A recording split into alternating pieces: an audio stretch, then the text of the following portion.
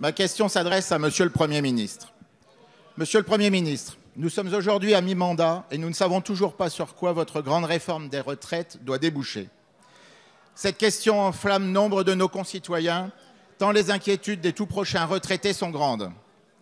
Nul ne sait si, bien qu'ayant travaillé plus longtemps que ses pairs, il ne touchera pas moins que ses prédécesseurs. Nul ne sait s'il ne devra pas payer demain plus de cotisations sans percevoir ensuite une retraite plus élevée. Nul ne sait si le calcul de la retraite par points envisagé n'est pas dans votre esprit une simple supercherie qui défavorisera nos retraités. Nul ne sait si l'âge du départ en retraite ne sera pas une nouvelle source d'inégalité face à l'allongement de la durée de la vie qui implique naturellement un allongement de la durée d'année de cotisation.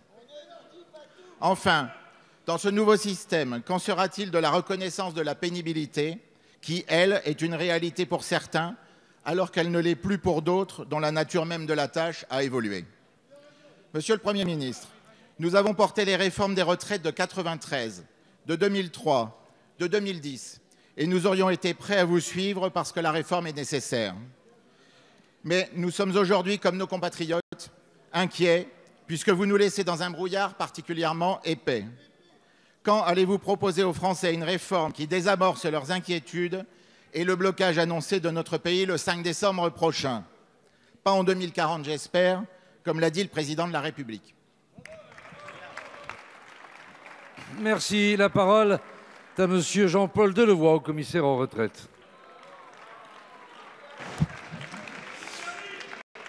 Monsieur, Monsieur le Président, Monsieur le député Pierre Vatin, c'est tout simplement parce qu'il y avait une très grande inquiétude sur la fiabilité des systèmes actuels que chacun dénonçait comme complexe, illisible et pas du tout adapté aux mobilités professionnelles, que le Président de la République et le Premier ministre ont souhaité mettre sur un chantier ce projet de système de retraite universel.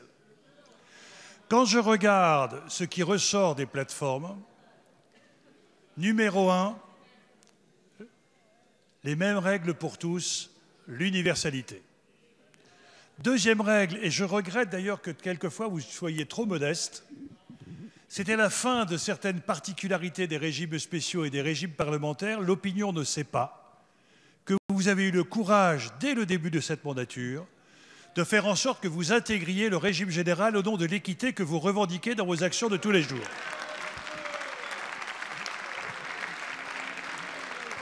Troisième élément, je crois que sur ce projet de contrat social et de cohésion nationale, il est difficile d'imaginer qu'on ne puisse pas prendre son temps.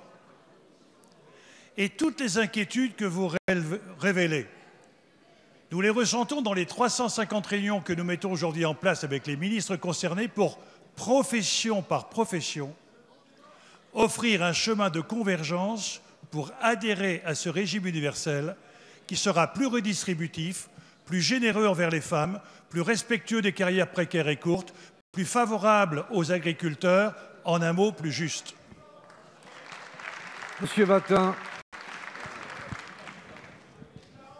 Mais alors, monsieur le haut-commissaire, moi je m'interroge pour savoir pourquoi les gens vont manifester le 5 décembre notamment, puisque vous nous rassurez aujourd'hui et qu'ils ne semblent absolument pas convaincus. Ils ne semblent pas absolument pas convaincus. Et enfin, il semblerait qu'il y ait quelques divergences entre votre opinion et celle du président de la République. Et donc là, nous ne nous retrouvons absolument pas.